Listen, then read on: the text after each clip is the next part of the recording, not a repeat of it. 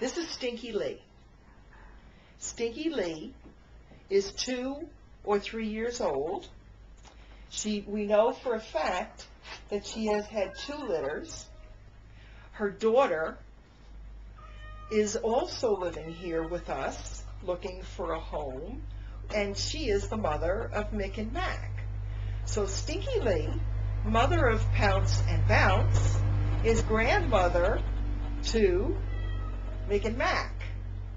So we have a whole family of, of uh, putty tats here. Pinky Lee, like I said, she's very sweet. You can see she's very, very sweet. She's purring as I speak.